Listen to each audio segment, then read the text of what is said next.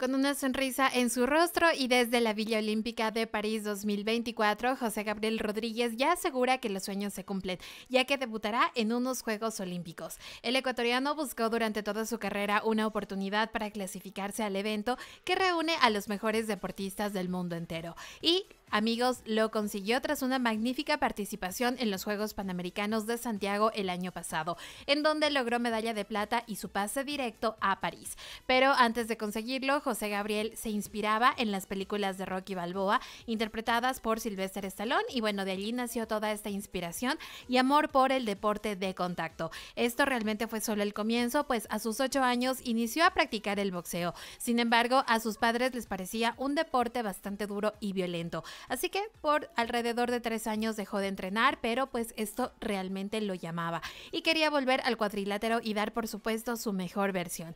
Y lo logró, pero tuvo que convertirse en ayudante de cocina en un restaurante de su madre para solventar sus gastos y poder comprar vitaminas e implementos. Así ayudaba a su madre y tenía un sueldo que lo ayude a sobrevivir. Pero también quería convertirse en profesional, así que decidió estudiar jurisprudencia en la Universidad de Guayaquil.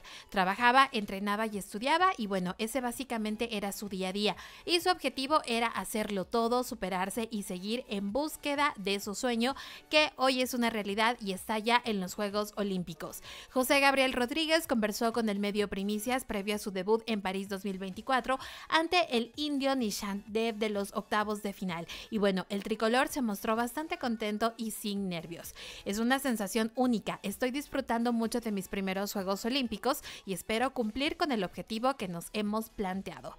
Esta proyección es subirse al podio a los 71 kilogramos, aunque también es realista y sabe que no es nada fácil obtener un diploma olímpico para él ya sería una gran satisfacción.